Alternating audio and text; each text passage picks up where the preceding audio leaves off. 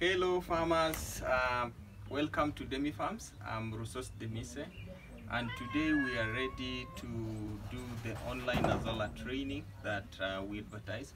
We're already at the farm and uh, this is the Azolla.